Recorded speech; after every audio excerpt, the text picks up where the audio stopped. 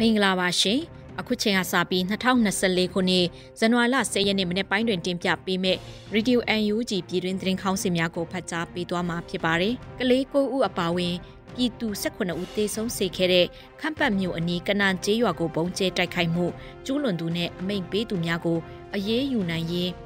UNG လှုပ်ဆောင်မည်ဟုဆိုတဲ့သတင်း အမျိုးသားရင်ငွေရေးအစိုးရနဲ့လူထုတပိတ်ကော်မတီတို့ပူးပေါင်းကလူထုတိုက်ပွဲနဲ့စစ်ရေးတိုက်ပွဲဆိုင်ရာမဟာဗျူဟာရှင်းလင်းမှုနဲ့ပတ်သက်လို့ဆွေးနွေးပွဲကျင်းပပြုလုပ်တဲ့တဲ့။ကြားကာလဒေသန္တရပြည်သူ့ချုပ်ရေးဖော်ဆောင်မှုဘုတ်ကော်မတီနဲ့ရန်ကုန်တိုင်းမြို့နယ်ပြည်သူ့အုပ်ချုပ်ရေးဖွဲ့များတွဲဆုံဆွေးနွေးပွဲကျင်းပပြုလုပ်တဲ့တဲ့။ဆက်သွယ်ရေးတရင်အချက်လက်နဲ့ဤပညာဝင်ကြီးဌာနပြည်ထောင်စုဝင်ကြီးနဲ့ဌာနပေါင်းစုံဝန်ထမ်းများနှစ်သက်တွေ့ဆုံပွဲကျင်းပတဲ့တဲ့နဲ့